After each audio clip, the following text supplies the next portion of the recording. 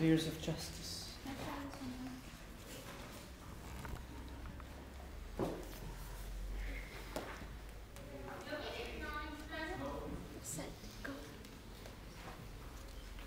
Take one. Okay, um, thank you all for coming. Um, it's quite flattering when people choose to be in your class. Um, the title of today's class is How to Win Debates in Political Theory Against Politics Students. And that's not actually as hard as it sounds, because most politics students know very, very little about politics. Um, you can learn a lot more about politics and political theory actually through studying other areas, um, economics for one, law for another. You tend to overlap a lot with political ideas in those spheres.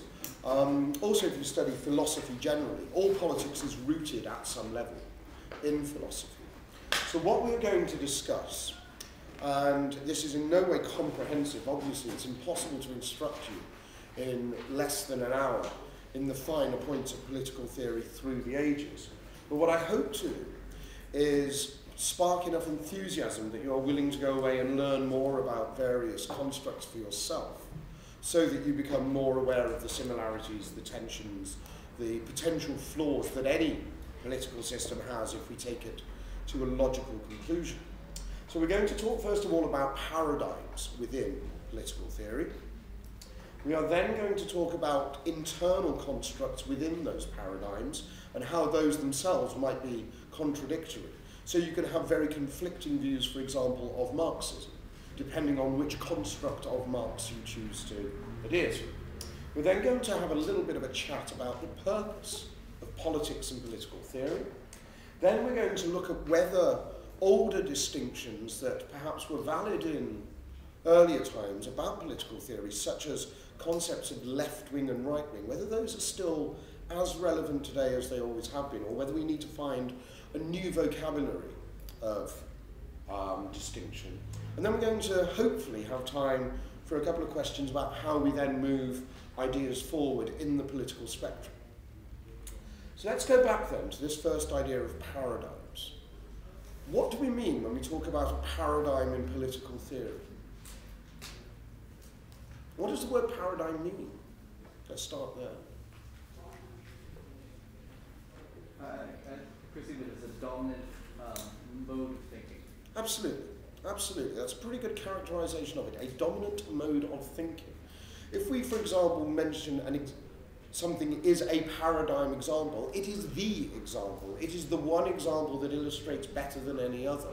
Similarly, with paradigms of theory, there are certain ideas that hold sway because they are more complete, they are more coherent, they are more internally logical, and therefore they stand the test of time. There have been lots of ideas in politics, some of which we've rejected almost completely. And within those, we can talk about constructs like um, theocracy, oligarchy, plutocracy, meritocracy, all of which might need to be mentioned at some point. But very rarely in the modern political spectrum do we deal with any of those, possibly with theocracies in certain parts of the world. Can anybody name me a theocracy paradigm as an example? Where is the paradigm for a theocratic state right now? Iran. Iran, absolutely.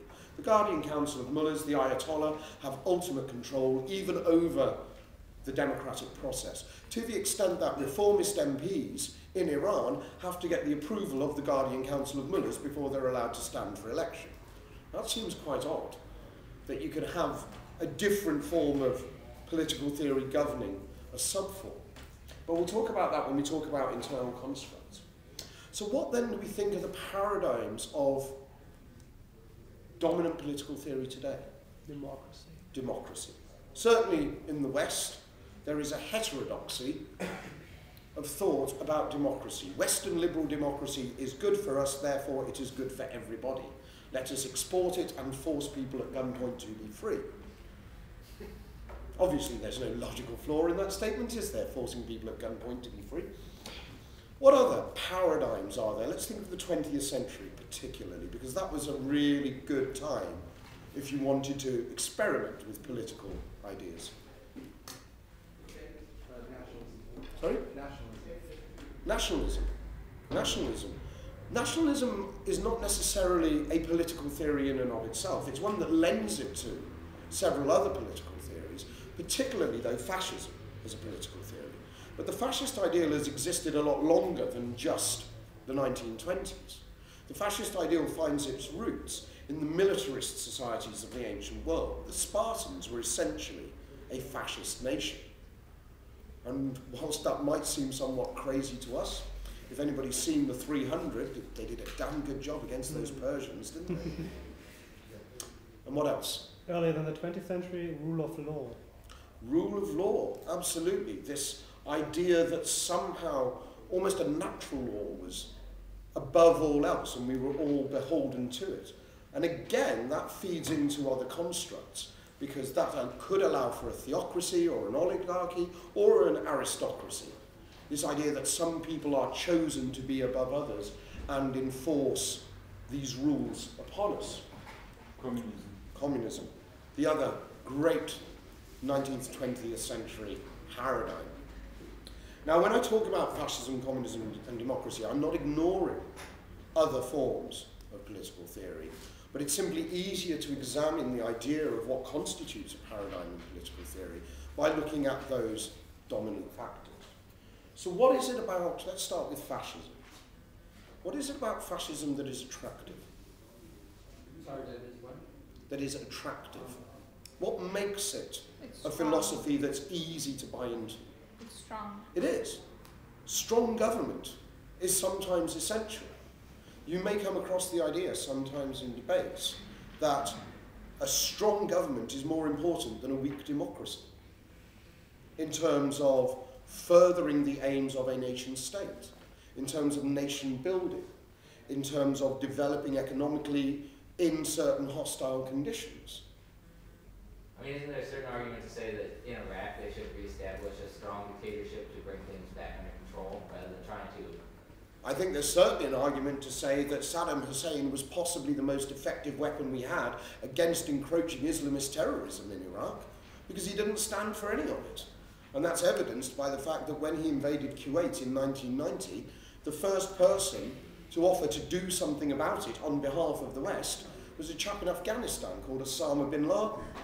And he phoned up the US President, George W. Bush Sr., or George Herbert Walker Bush, and he said, George, this Saddam bloke, do you want me to take him out for you? And George Bush said, you know what, we're not really that interested in getting involved in Arab-Arab conflicts. How times change, ladies and gentlemen. But ultimately, yes, strong uh, leadership can be very, very important, particularly when? When might we look to leaders to be strong rather than democratic? War crisis. Pricing. crisis. War, economic crisis, political crisis itself. When the state risks dissolving into a state of anarchy. We'll come to anarchy as a system rather than an absence of a system later. But in this sense, when we talk of a state of anarchy, we mean a lack of control. That is why, in the 1920s particularly, across Europe, not just in Germany and Italy, but Spain also, there was a very, very quick movement to support certain fascist ideologies because those countries were suffering principally economically. Franco's uh, Revolutionary War in 1936 was ultimately successful, partly because of the infighting that occurred uh, on the left in terms of the Popular Front, and that was very damaging to the left as a whole, but also because a lot of people in Spain were starving, and there just wasn't enough food. And if we consider our own heterodoxy in the modern world, where we talk about the importance of things like rights and freedom and liberty, and then we try to apply that to somebody in Angola or Eritrea who is starving to death, do you think they prefer food or the right to vote? Which do you think might be more important to the man on the ground?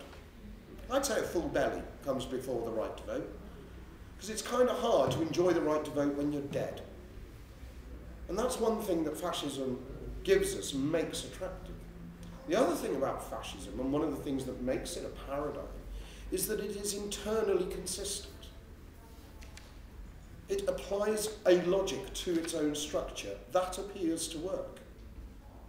If you start from certain axiomatic principles, and all political theory must necessarily be based in axiomatic.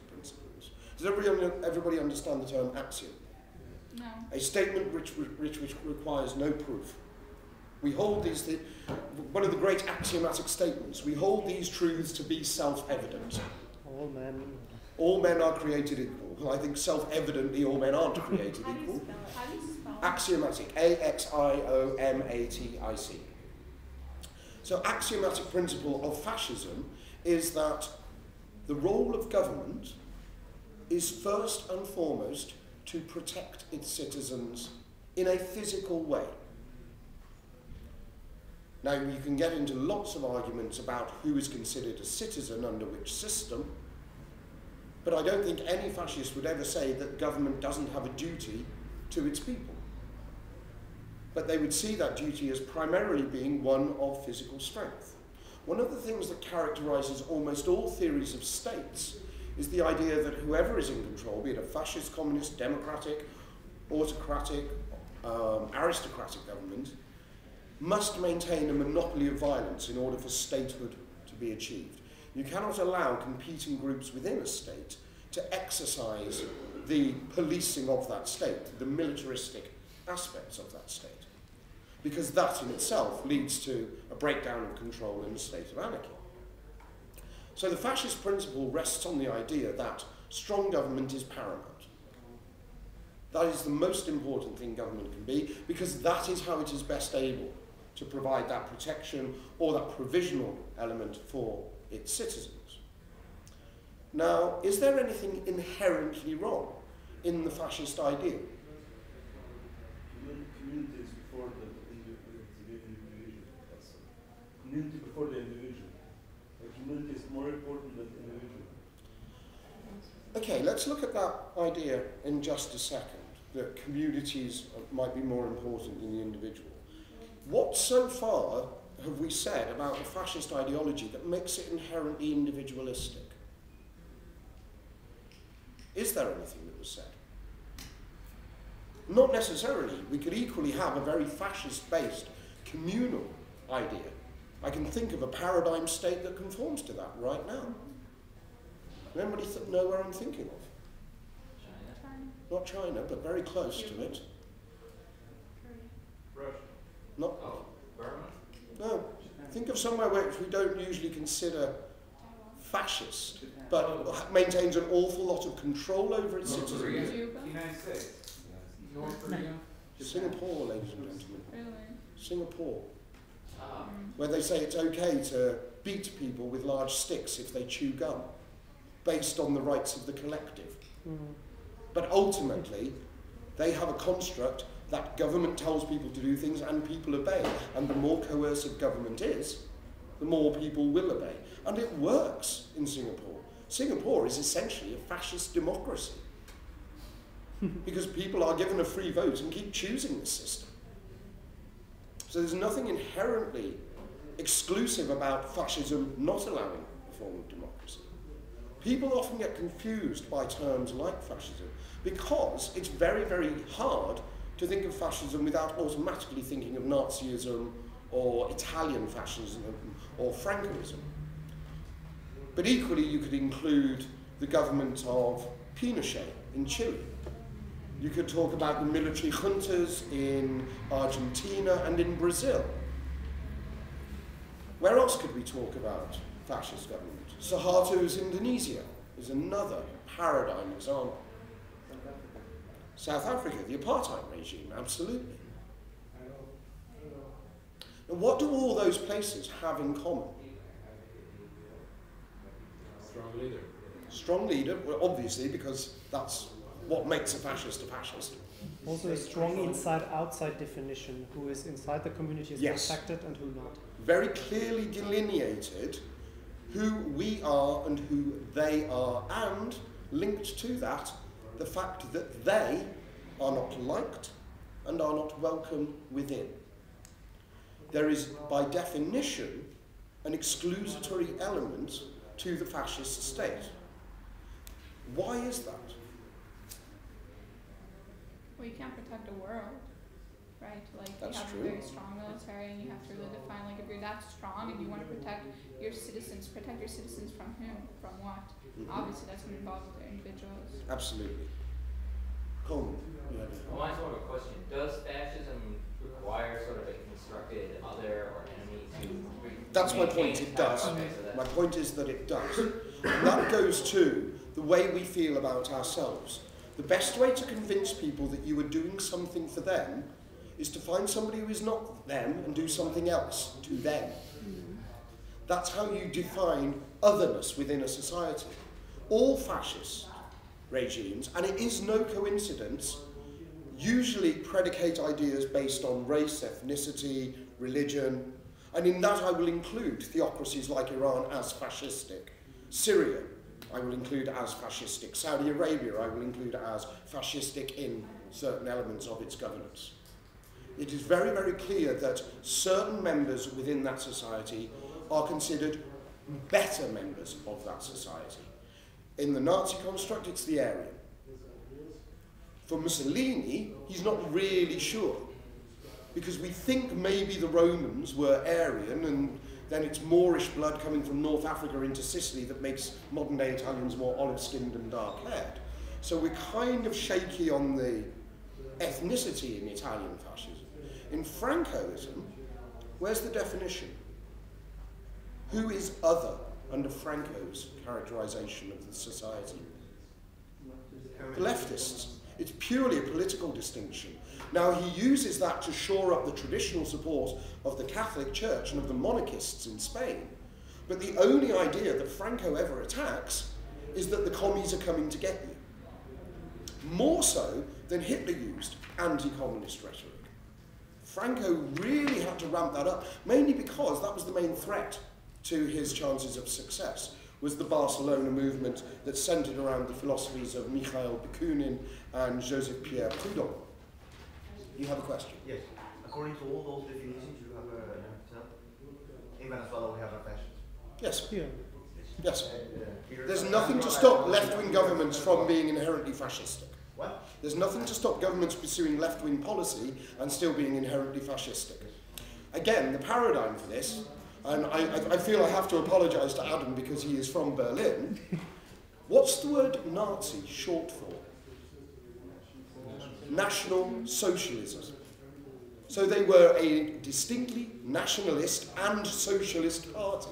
They believed in strong centralised control of the state, which is one element of political theory, and allied it to that being of benefit to specifically the German peoples.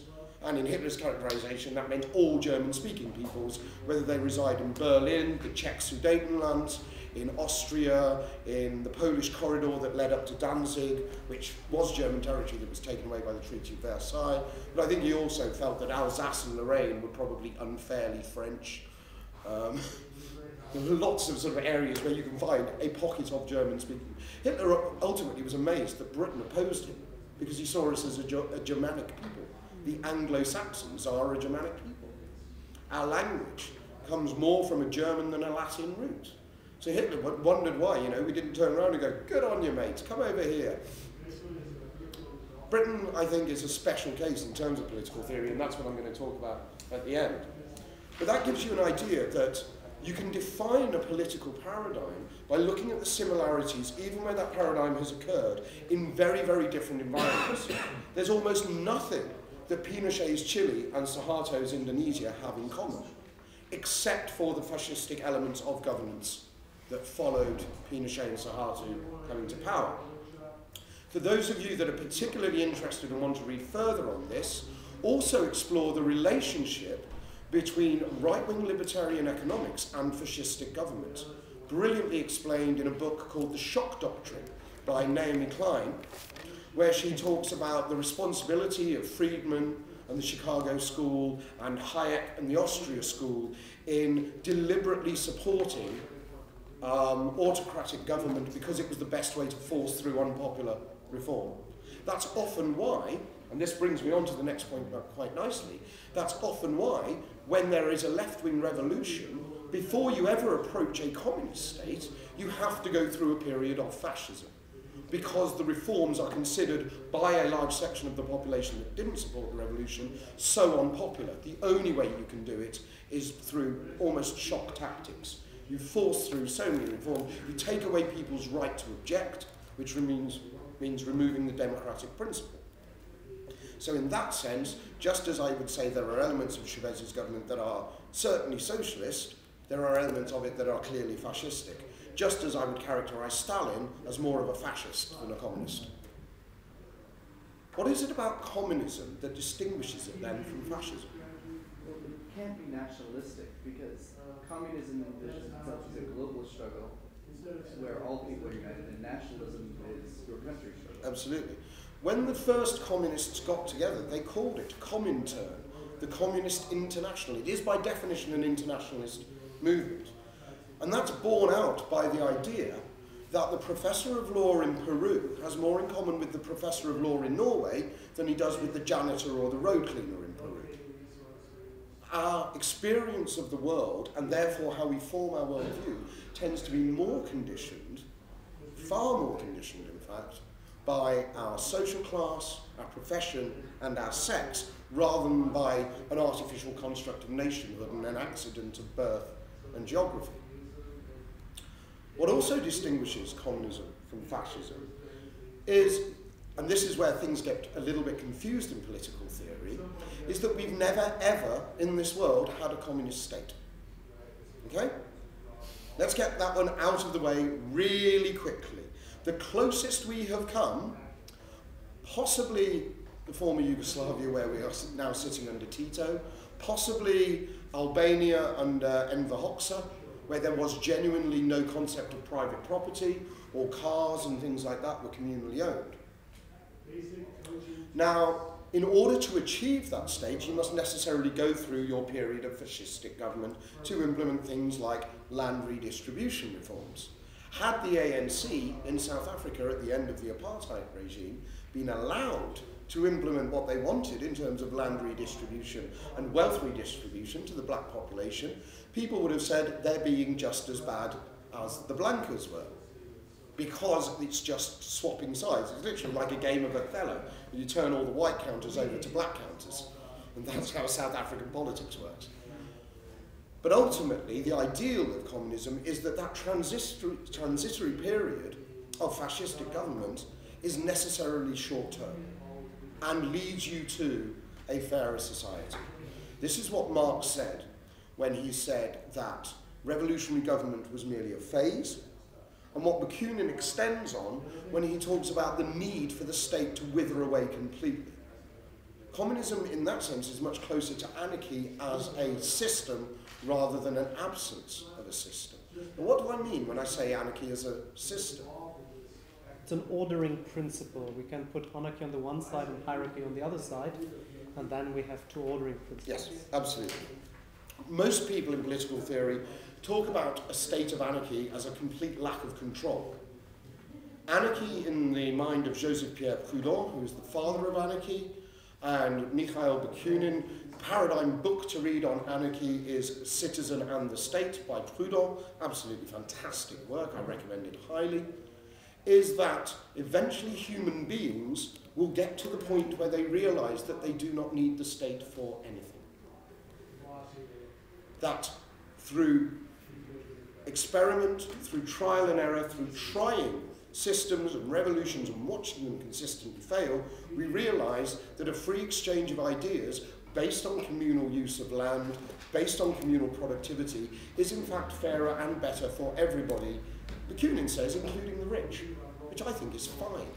He says you might not be as rich, but consider your position as a super rich person in, for example, the US of A, where you might have to live in a gated community with 24-hour private security firms to protect your property because the inequity of society that your system has created means that there are people two miles down the road living in cardboard boxes and starving to death.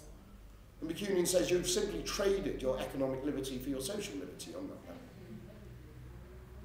So when we get to this paradigm of communism, it's something quite bizarre to get our heads around, given that we have lots of people, polit political theorists equally, who say communism has failed. How can something have failed if we've never actually tried it? The USSR, at best, was state capitalism, which is another way of saying what? National socialism? Central control by government, defined on this is what's best for my definable group of people? There's very, very little difference between Stalin's Russia and Hitler's Germany, essentially. They both require the definition of the other in order to promote their ideology. They both require that adherence to the nation is paramount. Okay, you can substitute in part of Russia's history the word nation for party, but even under that, Stalin's characterization of the party was as an essentially Russian construct.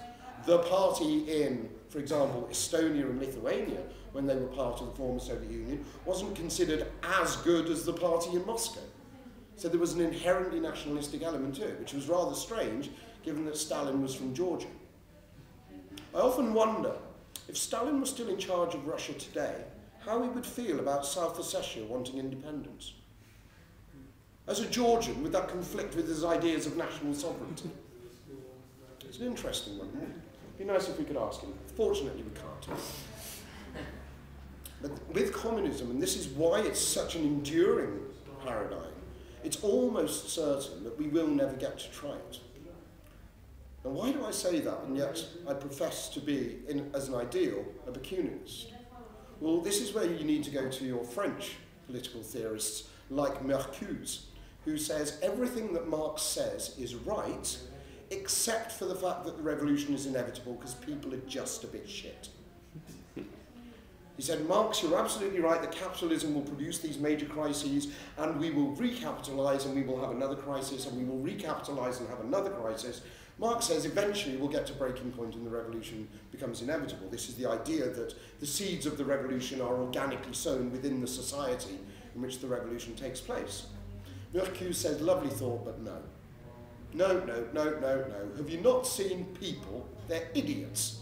They'll just keep on doing this and thinking that somehow, because we recapitalise, it's going to be better this time. And this is what we do. In 1987, when the stock market crashed, we recapitalised. Then when we had the savings and loans crisis in the 90s, we recapitalised. Then in the mid-90s, when it was Europe's turn, we recapitalised. And look what we're doing now. We're launching $700 billion bailouts of investment banks. Because when rich people start to lose money, suddenly it's government's duty to help them. It's funny that when small businesses go to the wall, nobody says, oh, the government must step in and pay these people's mortgages. And yet when bankers lose five million, suddenly the taxpayer's got a duty to bail them out. That's an interesting thing, because all it does is show that Marcuse, so far, is absolutely right in his characterization of how people and political theory relate. I mean, isn't there a certain, like, doesn't that stem from the fact that humans are inherently conservative and they sort of prefer, like, the better the devil you know than the devil you don't? Like, they know capitalism and it's a safer bet than trying to make a leap. The system's not so bad. On a semantic level, Marcuse would say there's no difference between the term conservative and the term I've used, which is stupid. Marcuse says it's people's stupidity that makes them inherently conservative and unwilling to take risks, when we can see that even though the risk might be larger than we've taken in the past, the potential payoff always makes that risk worth taking. Now, I don't want to get too much into probability and black swan theory and why the most unlikely event is by definition the most probable to occur. We can save that for another elective later in the week. But what McHugh says is we will simply not learn from our mistakes because we have both an assumption that we are somehow better than the people who did it last time, and therefore whatever they got wrong, we won't, even though we do exactly the same. And any amount of systems thinking, and all political theory must somehow involve systems thinking. What does systems thinking teach us?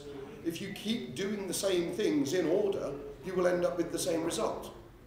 You put the same data in, put it through the same process, you're not going to get a markedly different result. To believe that you will is a form of insanity. Clearly. To think, if I type 2 plus 2 into a computer enough times, once it will say 5. Well, no, it always will say 4. And Marcuse says we never, we never learn this as human beings. The second reason we never learn this is that as human beings we rationalise backwards. Now, Camus, Albert Camus also said this. He said, human beings are never rational, we are consistently rationalizing. But we rationalize backwards. History is written after all the events have happened. We decide on what caused those events, and then we look for the evidence that supports that theory.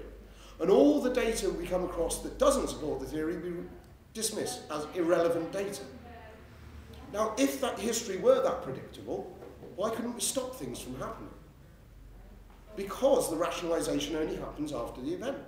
Because as human beings, we suffer from what Marcuse characterizes as corroborative bias. We make an emotional response, then we look for evidence that, on a logical level, corroborates that that emotional response is the right one to have. And that's why communism may never be tried, whilst lots of people going around going, wouldn't it be lovely? Almost everybody you talk to, apart from the confirmed sort of free market libertarians, who I think are just a little bit wacky, almost everybody you talk to who's studied political theory says, as an ideology, communism is lovely, but it will never work in practice. Well, it will never work in practice if we never try it. That's truistic on the most basic level. But almost everybody agrees that it's a nice idea, that there's something utopic about people being treated fairly, nobody starving, everybody having a home, a roof over their head, food in their stomach, some form of meaningful employ, whether it be paid or otherwise. Philip. Mm. Oh, you were just white. Okay.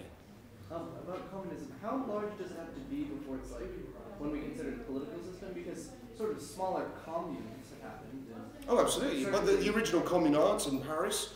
But I can think of one country which has several little communist systems, but is in fact a semi-theocratic democracy. Anybody know where I'm talking about? Kibbutzim in Israel. Possibly the most communist societies on the planet, where everybody does work for everybody else.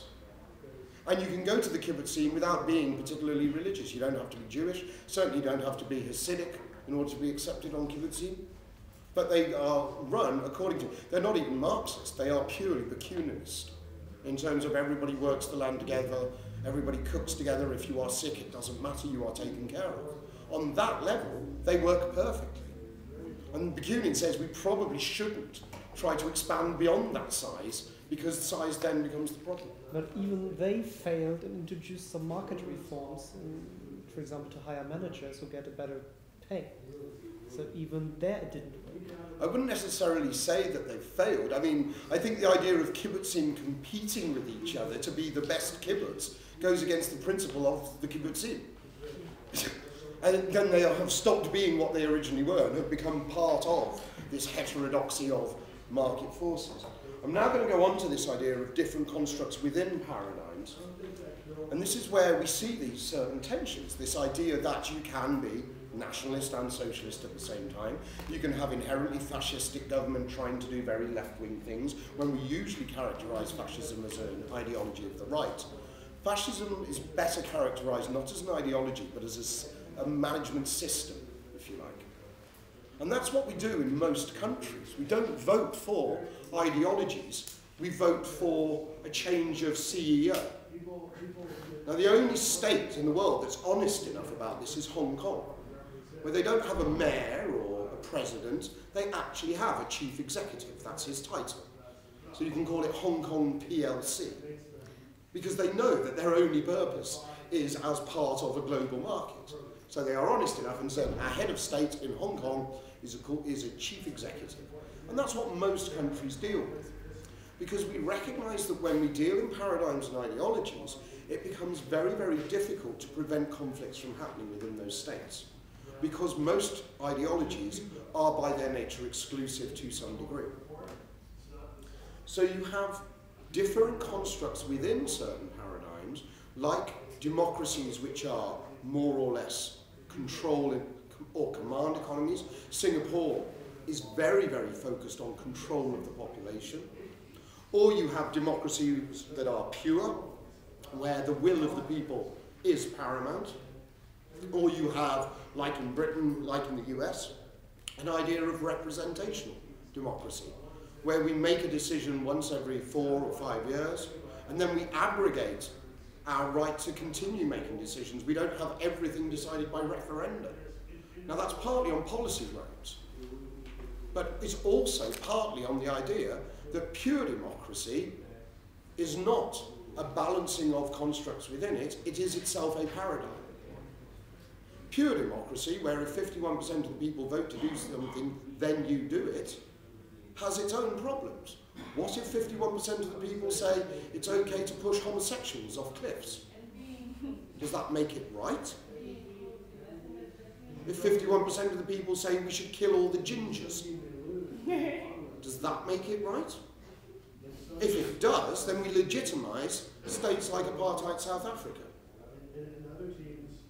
Now, you could argue that South Africa wasn't a democracy because the whites were a minority, but I don't think South African apartheid would have been okay if the whites had had enough babies to outnumber the blacks. I don't think that's a fair justification. So, the reason most places, and this is why Churchill said, democracy may very well be the worst form of government, apart from everything else we've ever tried, is because a construct of democracy that allows differing constructs within it is possibly the best way we have of balancing competing rights within a society and protecting minority rights from what we call the tyranny of the majority. That's often a great um, quote if you're faced with somebody saying, This is democratic, therefore it's good. Remind them that democratic, therefore it's good, is effectively saying we like to rule by lowest common denominator. We want to appeal to the most base element of all humans because that's what will manifest itself in the popular will. The term we use in England is rule by white van man. That guy who chooses not to engage with the news, who bases his ideas on prejudices rather than on information. Those are the people you can reach very, very easily with stump speeches that are persuasive but aren't necessarily logically thought out. Now, even things like Marxism have their own constructs within them. If somebody says Marxism in a debate, challenge them on which construct they're using. Are they talking about a Leninist construct? Are they talking about a Stalinist construct? Are they talking about a Maoist construct? So, uh, they're all very, very different. The Leninist construct, because of the environment in which Lenin grew up, says we like communism because we're quite optimistic that people will treat people well, but at the same time we think people are a bit dumb, so they need an educated elite to tell them what a good version of communism is. Anybody spot a logical flaw there? And Lenin said, and he actually wrote in a private letter to Friedrich Engels, of which I have a facsimile at home, that um, they should never allow the common man to control the revolution, because then it would all go wrong. I find that quite a difficult idea to deal with. And I understand then why Marx, on hearing this, said this is why we must never let communism fall into the hands of the Russians. Because the way that the Russian society was constructed, he said it wasn't ready for communism. Marx didn't write the manifesto for Moscow, he wrote it for London because he saw England in the end of the 19th century as the perfect post industrial society. The one where the workers would have both the ability and the willingness to take over the means of production, which was central to his thesis. Mao, on the other hand, totally rejects Lenin's ideas and says, no, the intellectuals are themselves part of the dominant elite that we are trying to rid ourselves of. Mao takes it to the other extreme and says, you, sir, with the glasses, you look like you've read a few too many books to me, and that spells danger. So all the intellectuals and all the university professors in the rebellion in 1946 in China were automatically, whether they had sympathies with the leftist revolution or not, were automatically enemies of the revolution. This reaches its own paradigm in Cambodia with the Khmer insurrection in the 1970s, where Pol Pot did execute people based on whether they needed eyeglasses or not. If their eyesight was poor, it was because they'd read too much and therefore were worthy of death.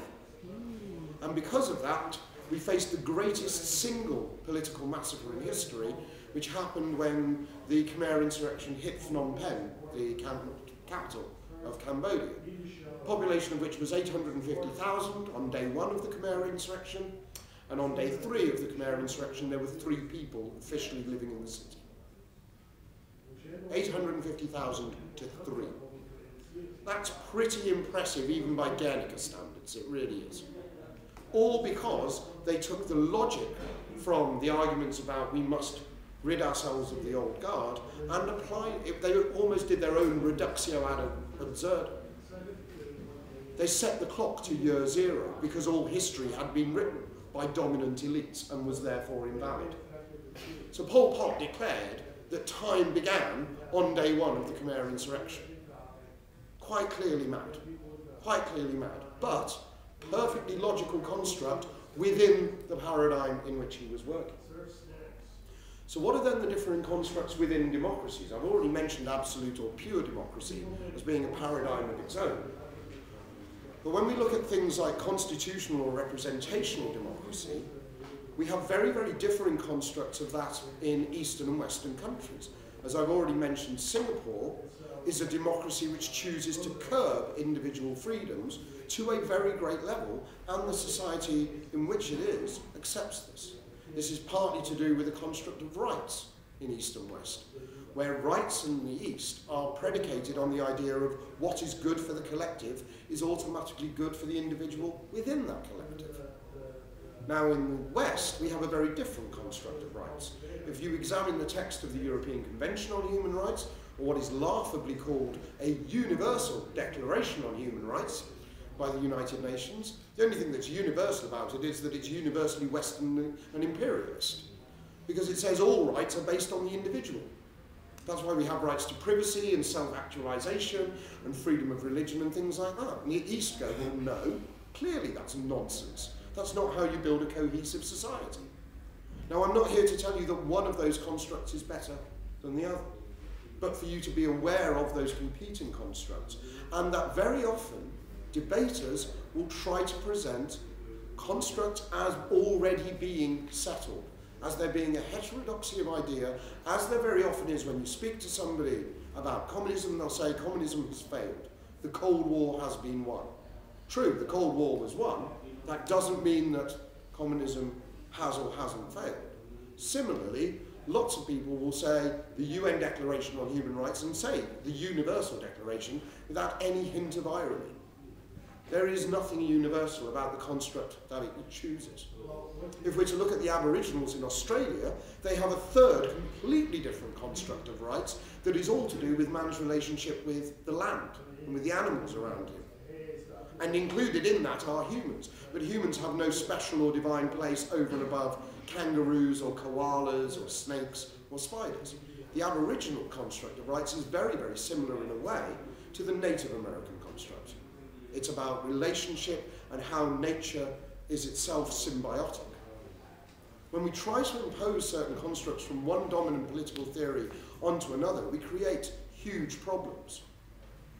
When we look at the way the white settlers in North America treated the Native Americans, we didn't think we were doing anything wrong buying their land from them for a few blankets that we'd chosen to infect with smallpox.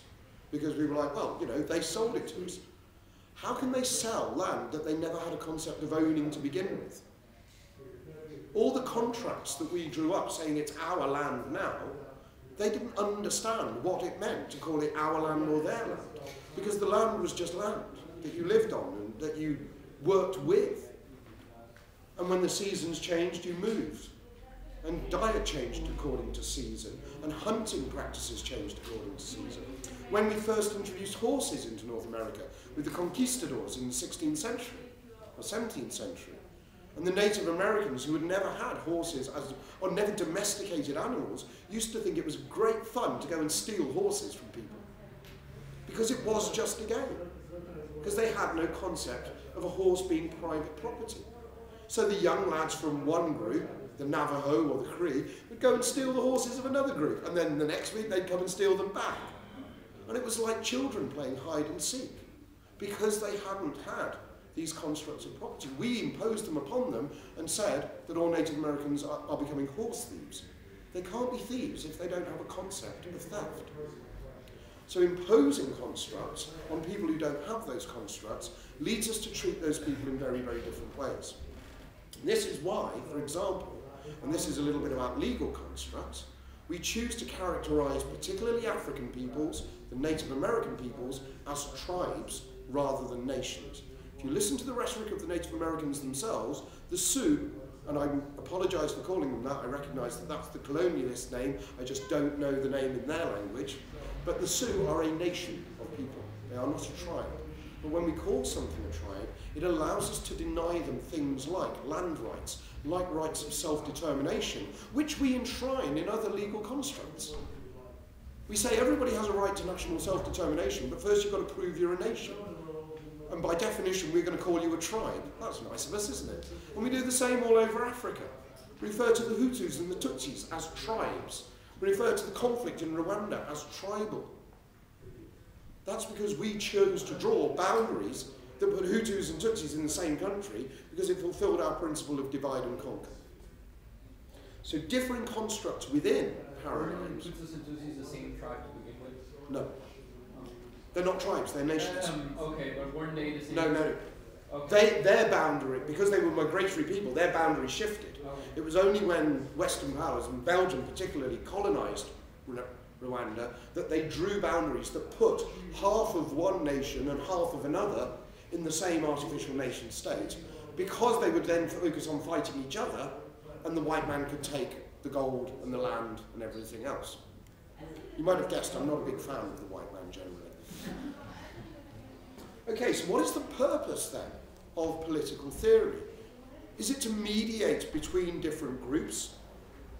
To allow them to have competing rights and for us to determine in some way which rights are going to triumph? Is it to define who people are, who they see themselves are, systems of governance? Or is it simply to allow us to form a construct of a relationship between state and citizen? Which is it?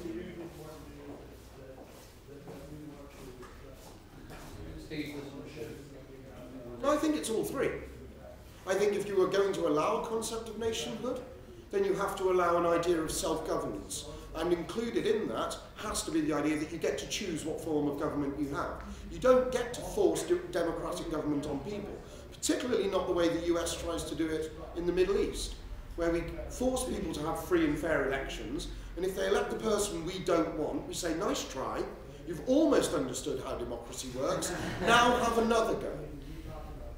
And they try, no, no, you- you're not quite there, are you? You keep electing this guy that says you want to be a socialist state, and that's not right. And that's exactly what um, United Fruit did to destabilize nascent um, national democracies in South America. The CIA helped undermine them, which brings us back to the juntas in Brazil, in Argentina, Pinochet's Chile. We didn't like the fact that when these people threw off the yoke of colonial oppression, and the same in Africa, South Africa again being a paradigm example of this, the ANC had a very, very leftist agenda when they were in opposition. When they came into power, they were elected on the back of a manifesto that said, we will take all land and redistribute it amongst the black people of South Africa from whom it was stolen. They were elected on that, and the IMF said, hmm, sounds a bit lefty to me. So what we're going to do is, unless you drop that completely from your manifesto and go further and say it was never your intention in the first place, we're going to both cripple you with apartheid era debt and we're going to refuse to bail you out with IMF loans. Now, when you remove a country's ability to have an economy, they're not going to care very much about rights. As I said, the starving man would rather have food than the vote. When you take that to a state level, what we say to the ANC or to newly nationalist countries in Africa is you don't get to push a socialist agenda even though it's the one your people want. So you don't get to export democracy in that way. Self-governance includes and must include a right to choose the form of government, even if you choose to elect a non-democratic form of government. That has to be okay. So then this idea of systems of government. Yes, political theory is there to talk about best systems of government, as we've already done in the earlier part of this elective where we talked about the paradigms and why representational democracy appears to be the best way we have of managing those competing rights and particularly protecting those minority rights from the tyranny of the majority. And lastly, this idea of the relationship between state and citizen. Now, if anybody here has ever heard anything about social contract theory, forget it. It's wrong. Completely and utterly wrong. There is no such thing as a social contract. Rousseau is dead. Equally, Hobbes no longer alive and kicking. Hobbes and Rousseau have very different ideas of the social contract. The only thing that Hobbes and Rousseau have in common is that they're both equally wrong. Why is there no social contract? Time inconsistency. There's a hand up behind you. There's no place you can go to not be in a social. Exactly. You can't opt out. You can't rescind the social contract. And if you can show me my signature on it, I'll give you a million pounds. Because I never opted in. I was born into a state that said, this is our control mechanism. Now I can leave this state and go to another state, but I can't go somewhere where there isn't a state performing some kind of control mechanism. Now we might, on some level, accept that because of competing rights, we have to have state mediation because otherwise we all dissolve into an inherently fascistic, strength is right state of being. And that's probably undesirable. That doesn't mean I have to buy either the Hobbesian or the Rousseauian contract theory idea. Lastly, and it is lastly, this idea of what do left and right now mean? Because they, we no longer have a linear political spectrum where we have left wing, centre ground, right wing. Sorry, for you guys it's the other way around, isn't it? no, because you're looking at me, I'm just trying to...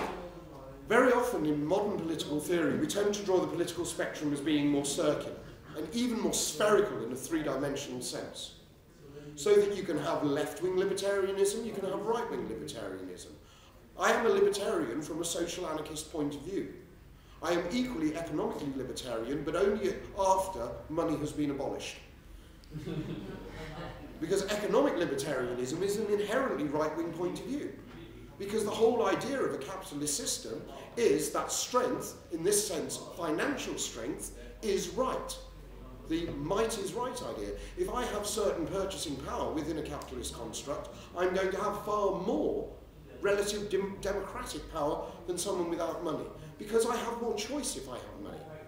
I am not constrained by economic hardship in the choices I make. So libertarianism, when it first evolved as a political philosophy, was firmly on the left of the spectrum. That's the sort of school that Bakunin is coming from. But when we nowadays talk about libertarianism, we're talking about Friedman, Hayek, the Chicago School, the Austria School of Economics. Similarly, when we talk about things like anarchy, when we talk about things like social policy, let's look at Sweden, for example. Is Sweden a socialist country or not? Is it, first of all, is it a democratic country? It's socially democratic, as opposed to liberal de democratic. But liberal also used to be part of the old left wing, because it was the conservatives who were inherently right wing. And yet, liberalism in terms of democracy is more right wing than social democracy, which is actually far more conservative. So, which is left and which is right?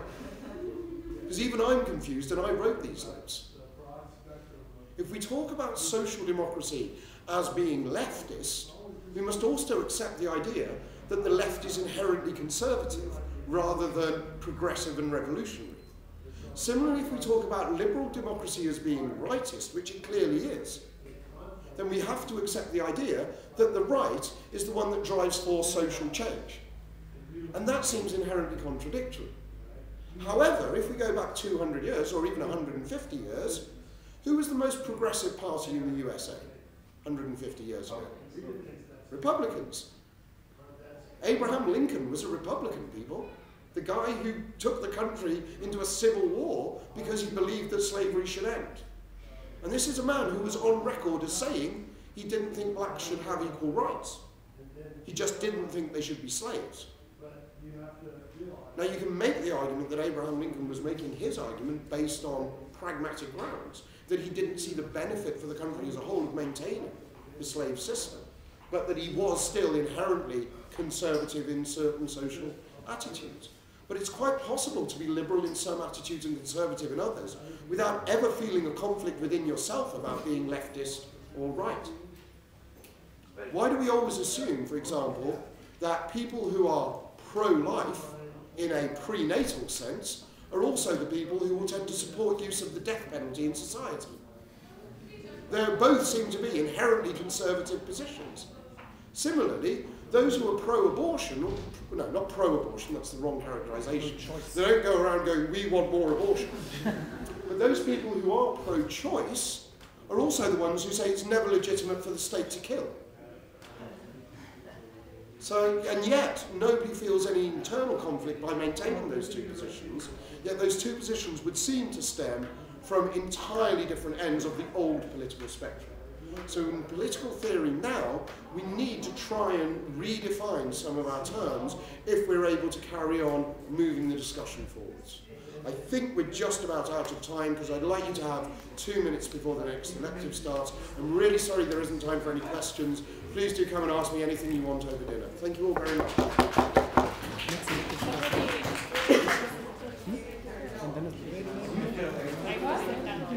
every day to Concert in relation with the South